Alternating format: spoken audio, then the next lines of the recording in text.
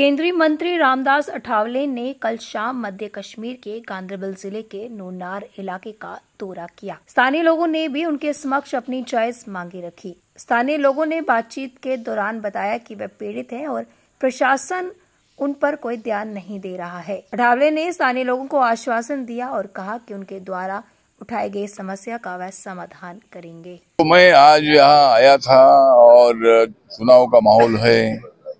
और हमारी Republican party of India जो मेरी पार्टी आरपीआई है, उन्होंने मतलब चार कैंडिडेट पर हमारे पार्टी के टिकट पर चार उम्मीदवार हमारे खड़े हैं।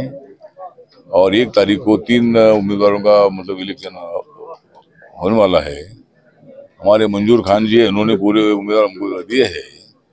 तो जिस तरह मैं अभी पूरे तीन चार जगह पर मैं जाकर आया तो कई तो समस्याएँ है, यहाँ जो मतलब माइनिंग की तो समस्या है। तो माइनिंग के लिए मगर रॉयल्टी लेकर अगर माइनिंग का परमिशन देते हैं तो जो तकलीफ़ है तो वो तकलीफ़ नहीं होगी। उसके लिए ज़रूर मैं इसमें रॉयल्टी के बारे में ज़रूर मैं प्रयत्न करूँगा। दूसरा जो मतलब जो वहाँ फाइन होता है, जो गाड़ियाँ जाती है, उनको फाइन किया जाता है। क्योंकि परमिशन के बगैर ये गाड़ियाँ जाती है इसीलिए मतलब इस तरह का ये प्रॉब्लम है। तो उस प्रॉब्लम को भी हल करने के लिए हम ज़रूर प्रयत्न करेंगे। और दिव्यांग जन के लिए भी मतलब मेरा मंत्रालय है। दिव्यांग जन के लिए सुगम्य भारत योजना है। दिव्यांग जन के लिए बहुत सारे स्कूल भी है लेकिन अगर यहाँ आजू बाजू में स्कूल नहीं होगा तो ज़रूर डिस्ट्रिक्ट लेवल पर डिस्ट्रिक्ट लेवल पर एक दिव्यांग जन का स्कूल शुरू करने के लिए हम प्रयत्न करेंगे। दिव्यांगजनों के लिए आने का योजना है, उसका फ़ायदा भी उनको उठाने के लिए हम मदद करेंगे।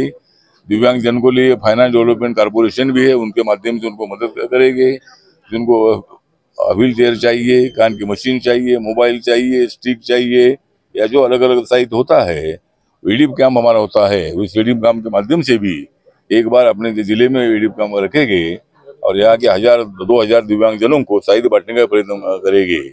यहाँ के गाँव की रस्ते की तो समस्या है तो ये कहा अस्पताल की तो समस्या है। ये हर समस्या हल करने के लिए ज़रूर मेरे पास जो भी मतलब मेमोरेंडम आया है, उसके मुताबिक ज़रूर मैं सब लोगों को मदद करने का प्रयत्न करूँगा।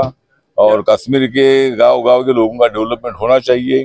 थ्री सेवेंटी आर्टिकल हटने के बाद भारत सरकार से डायरेक्ट आपका संबंध है।